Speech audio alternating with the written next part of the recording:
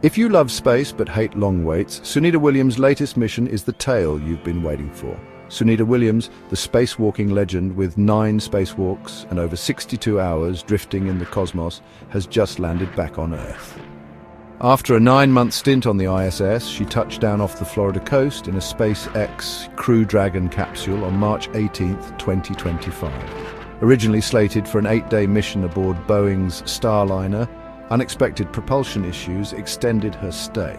NASA made the switch to SpaceX, and after a smooth undocking at 1, 5 a.m., she finally splashed down safely. Back on solid ground, Sunita's journey isn't over. She's set for extensive post-flight rehab to readjust to gravity. Meanwhile, her ancestral village in Gujarat is buzzing with celebrations, and she's been hailed as a daughter of India by top officials.